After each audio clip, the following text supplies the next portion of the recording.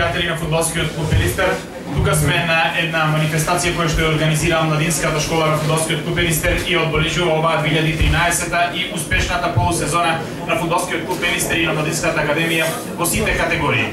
Затоа на самиот почеток Младинската академија на фудбалскиот клуб Елистер ќе додели благодарници на заслужите за успесите во тековната година. Го повикувам координаторот на младинската школа Сашо Илиевски да ја добие благодарницата за успешната сезона.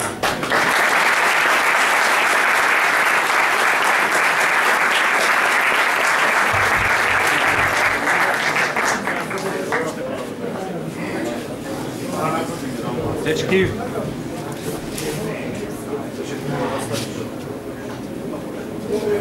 Го Кире Грозданов да ја добие благодарницата за успешната година. Благодарницата ќе го.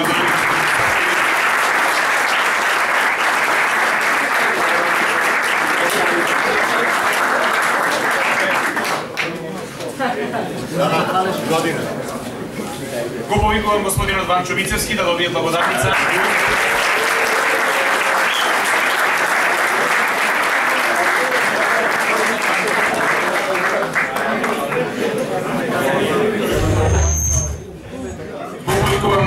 повикувам Димитар Капинговски.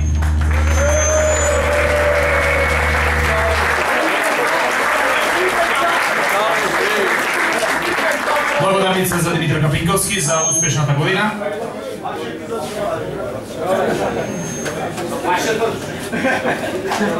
Го повикувам Наум Шарковски, кој што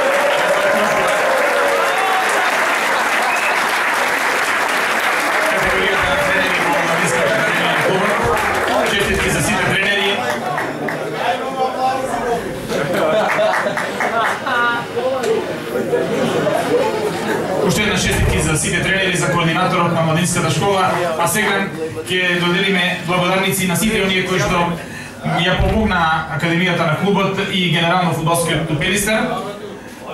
Го повикувам Златко Талевски, председателот на Обштинскиот фудбалски сојуз Битола, да добие благодарница, благодарницата помагачки Наум Шаповски.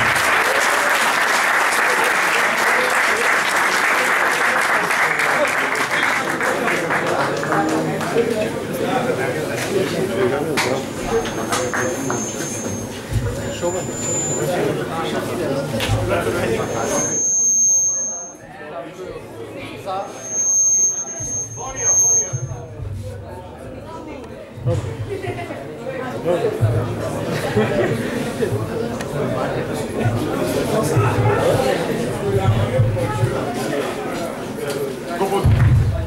повикувам спонзорот на фудбалскиот клуб Елистер господинот Ѓорги Силјанов да добие благодарница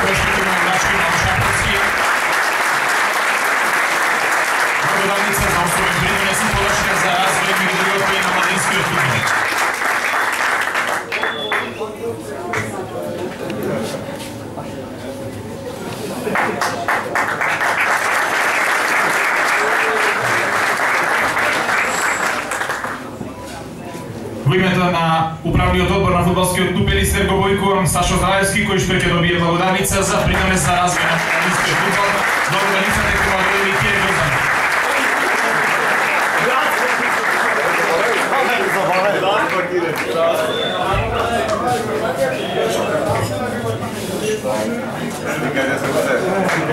Во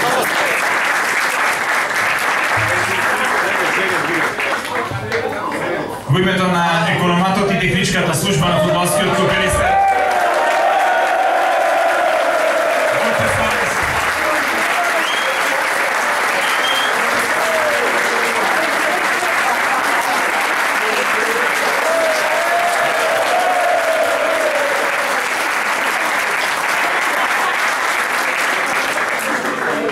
Во името на стручниот штаб на сениорската екипа на фудбалскиот клуб Елистер, кој што есенскиот дел го заврши на делба на првото место, го повикувам помошникот тренер Неджат Хусеин, кој што ќе добие наградата во името на стручниот штаб, наградата која е ја Иван Чорицевски.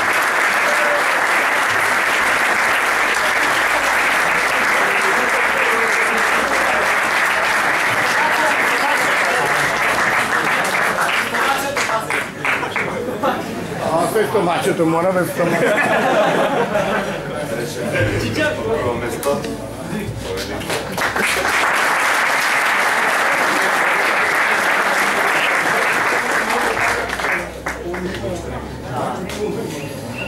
Благодарница е за Теа телевизија за придонес во поддршката при сите активности на фудбалскиот клуб Пелистер.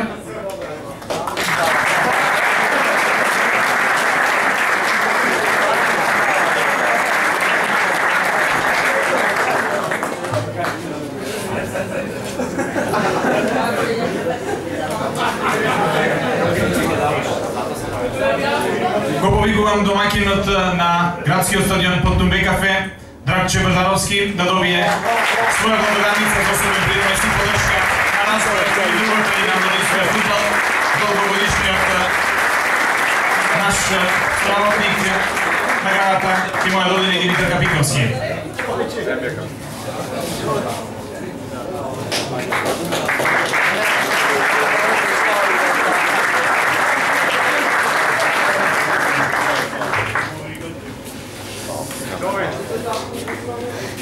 Повикувам представник на ресторанот Путник кој што е вообичаен помагател на сите фудбалски активности при фудбалскиот клуб Елисер. Благодарница ќе врачи Димитар Капиковски.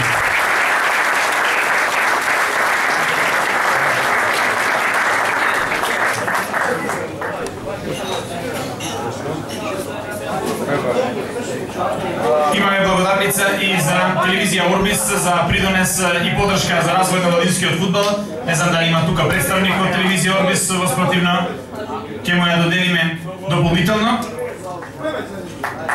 Го повикувам координаторот на Младинската школа Сашо Илиевски да додели награда благодарница за Транскоп Битола кој што исто така помага при сите активности на нашата школа. Аплос Транскоп Битола кој што помагател на Младинската академија на клубот подолг период. Да се надеваме дека соработката така ќе трае, ќе продолжи.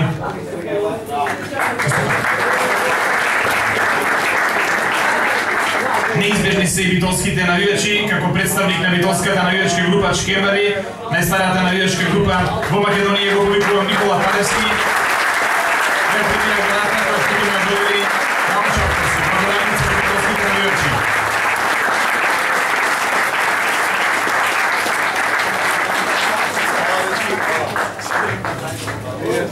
И за крај, господинот Наум Шапковски ќе му врачи благодарница и на туристичко-рекреативниот спортски центар Мајски цвет од Струга, кој што веќе подолг временски период е помагател на Младинската академија на фудбалскиот клуб Елисер за неговото предстој и ја заслужува оваа благодарница.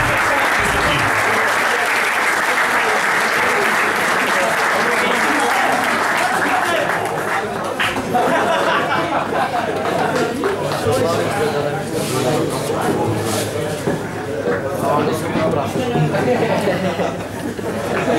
Со ова ја завршуваме оваа кратка манифестација.